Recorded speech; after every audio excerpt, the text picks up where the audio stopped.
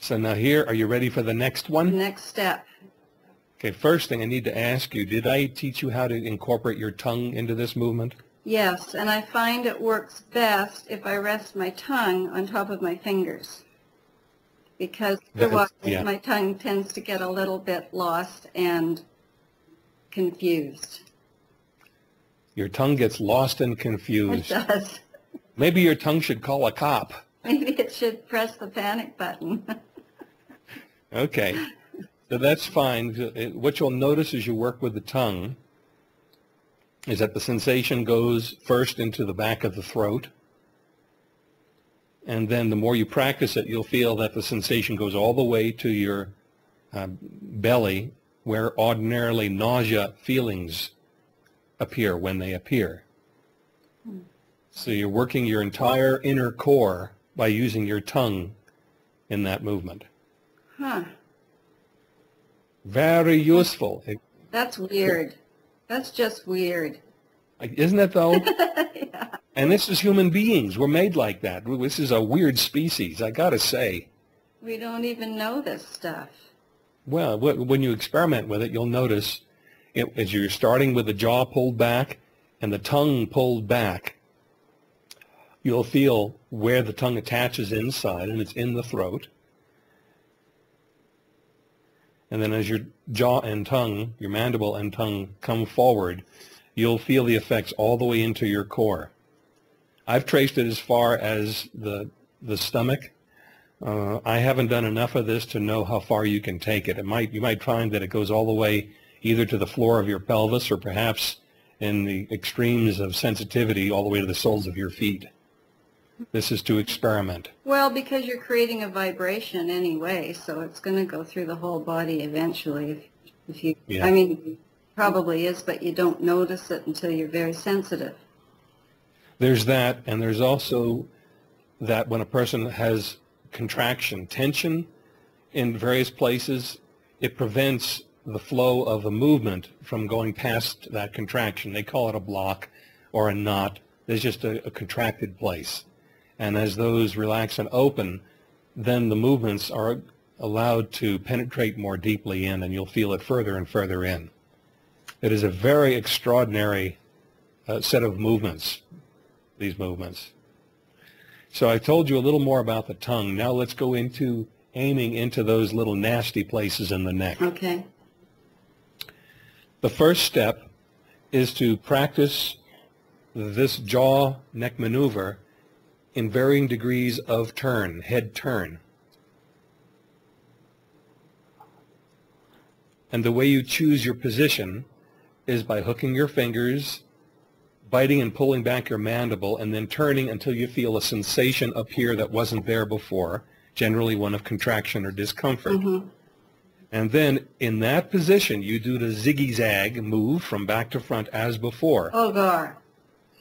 You mean do the, the head tilt in that position? Yes, with the face turned to the side.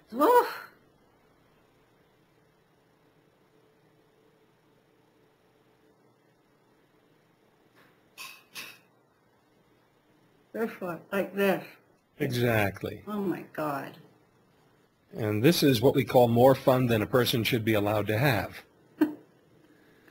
now, I'm, this is the intermediate preparatory step to the Lollapalooza of all moves for this sequence.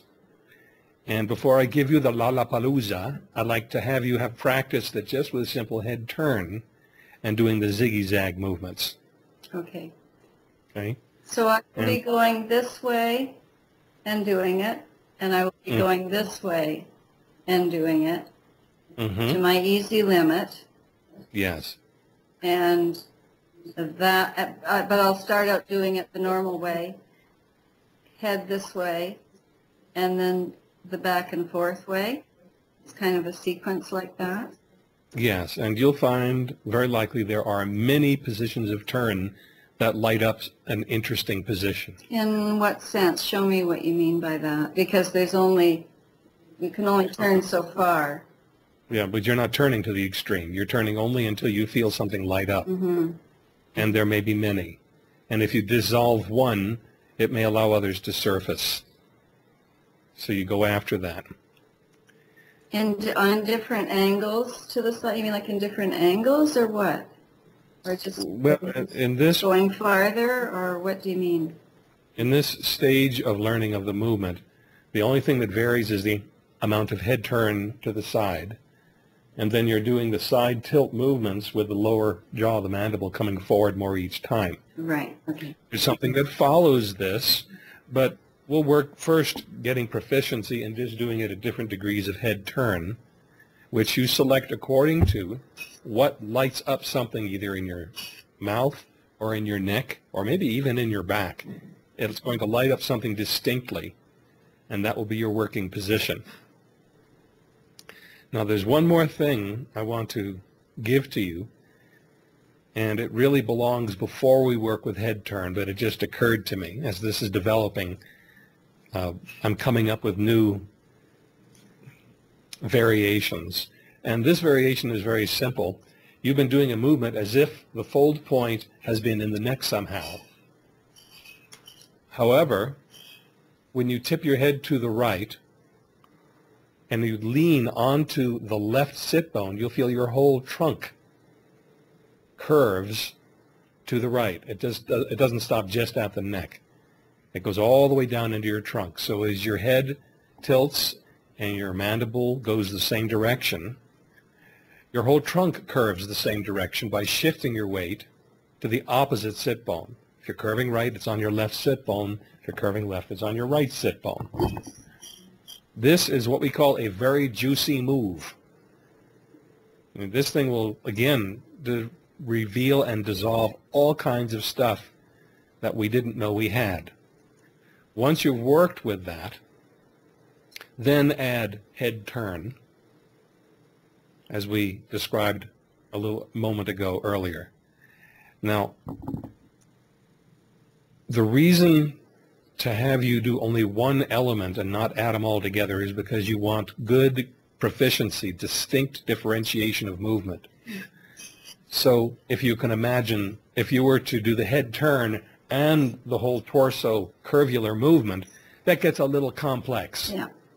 so we want you to have practiced the simpler versions first Okay. so that you don't have to put so much effort of concentration into it. It comes more easily.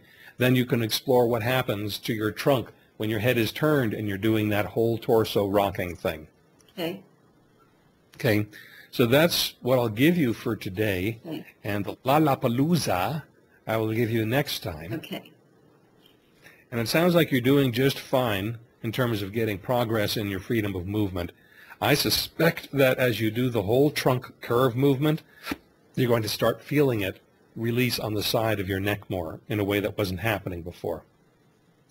Yeah, I think it's good to be incorporating that because I still have that lower left side and yet, you know, the head doing weird things, sometimes pushing into the left, sometimes turn to the right in weird, you know, unconscious patterns. And I, uh, I still have a lot of nerve tension in this area that drives me nuts. So I think it seems like something that might address everything. Interesting. Yeah, this it is this movement, you know, with jaws, is apparently hugely significant. And just to outline briefly, the mandible and tongue are instrumental in swallowing as well as speech, and they correspond to the front aspect of the body and to the body core. The upper teeth, the maxilla and the rest of the cranium, are more closely associated with the spinal column and the outside rather than the core. When you have things like a deviation in mandible movement, it corresponds to a deviation in the whole core and the front of the trunk. And a belly button that sits a little bit over to the right, Yeah, generally to the west. to the, yeah, that's right. It's a huge thing. And what's more is that contractions in the core, which are part of the jaw contractions, prevent a person from straightening out from inside. Hmm. So when you free the mandible, the inside will probably start to gurgle and you'll feel changes of pressure inside your trunk and the heart region and in the abdomen. You'll feel things kind of make what I call plumbing noises, hmm. gurgling and squelchings as things reposition. And you'll feel the internal stress tensions that shape your posture come free. So we're working with the outside and the inside, right, left, front, and back. Hmm. It's huge, the amount of implication that changing the jaws has. And this corresponds to a certain finding in chiropractic. They think it's the neck, as they do in the Alexander technique. They, uh, they attribute great significance to the neck, but I think more than the neck, it's actually the jaws because the neck is connected with the upper teeth most directly and the lower jaw is connected with the core and the soft inside. And it has huge far-reaching effects. So this is like very interesting stuff we're into right now. Uh, and I don't know how far you can take it. I haven't reached the limit yet, but I have found this. There's the deepest bone in the body starts behind the upper molars it goes inside and flares out to become part of the temples. And on the inside, it forms the underside of the brain case where the pituitary gland is seated as a little concavity in that ethmoid bone, as it's called. The ethmoid bone and the sphenoid bone are what we're working with.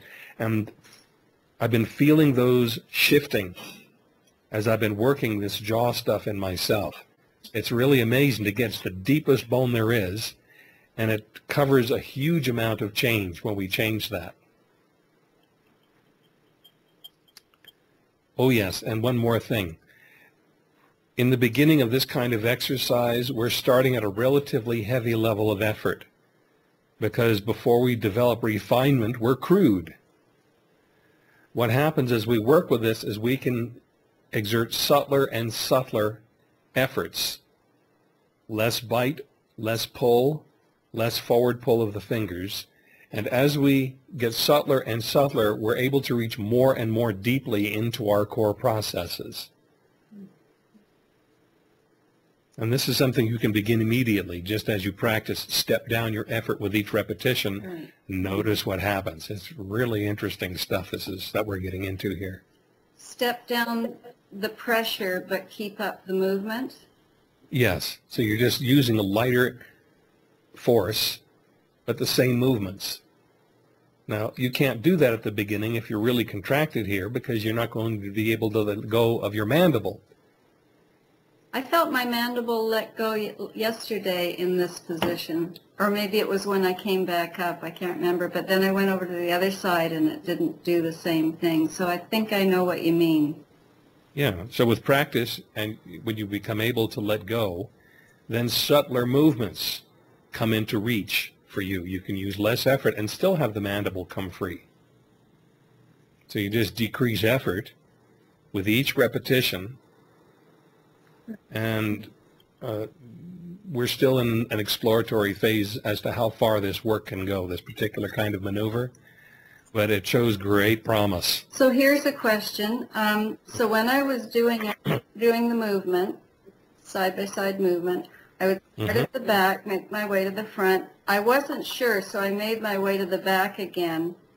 Mm-hmm. And then I did, I, I can't remember if I did the forward and back movement then, but I thought everything that you teach, you, there's usually five repetitions, so I was wondering how many repetitions to do. So I probably did about three of the zigzag movement and as you say, it was just, I should have stopped at the front and not worked my way back to the back again.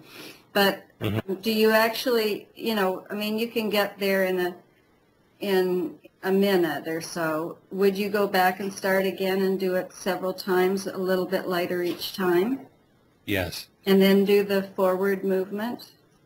The forward and back movement. Or then, or would you then go to the side and do that and the other side, uh, do it uh, on the sides and then do the forward and back? I'd say the first way. Do straight forward first with the side tilts. Yeah.